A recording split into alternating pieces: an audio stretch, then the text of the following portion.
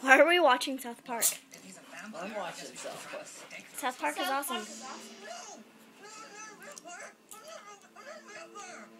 What's that? You're not really a vampire? Really? I'm so freaking shocked.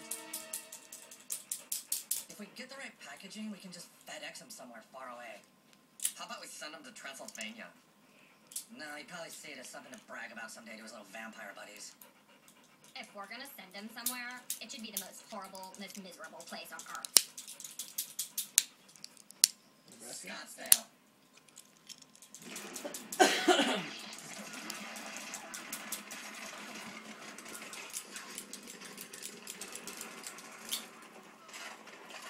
Fight fire. With even more fire.